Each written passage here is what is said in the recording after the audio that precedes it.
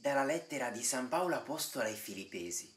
Fratelli, non angustiatevi per nulla, ma in ogni circostanza fate presenti a Dio le vostre richieste, con preghiere, suppliche e ringraziamenti.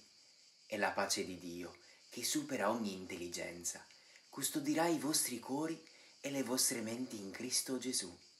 In conclusione, fratelli, quello che è vero, quello che è nobile, quello che è giusto, quello che è puro, quello che è amabile, quello che è onorato, ciò che è virtù e ciò che merita lode, questo sia oggetto dei vostri pensieri.